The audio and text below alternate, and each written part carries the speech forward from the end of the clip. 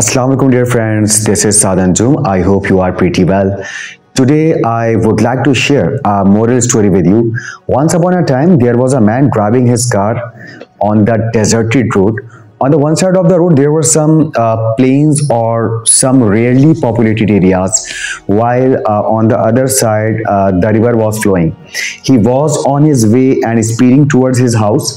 Suddenly a tire of his car got punctured he stopped and got out of his car in worry and looked around anxiously.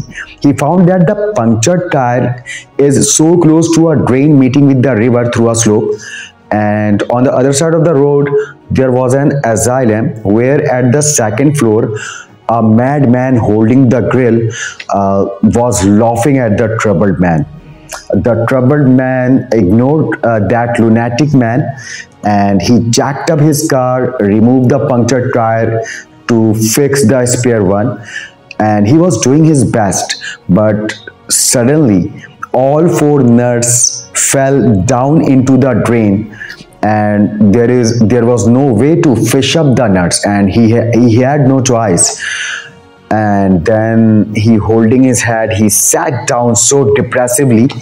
And the madman was watching the whole scene. The madman asked uh, to the depressed man that brother can i help you?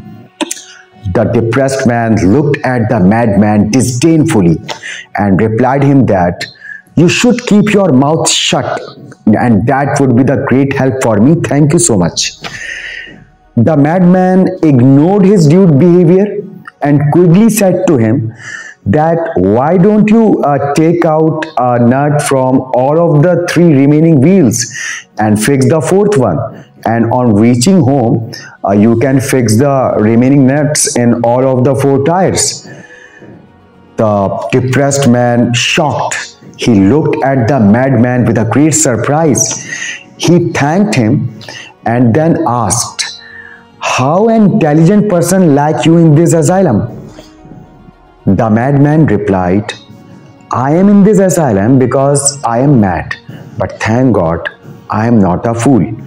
Hearing this, the man uh, embarrassed and he realized that it was his mistake uh, to look the madman disdainfully uh, because we shouldn't uh, underestimate any anyone.